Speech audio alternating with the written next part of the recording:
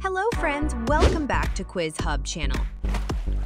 Let's find out how sharp your eyes are with these fun emoji puzzles. It's Spot the Odd One Out edition. Don't forget to subscribe and keep supporting us for more amazing quiz. Let's get started.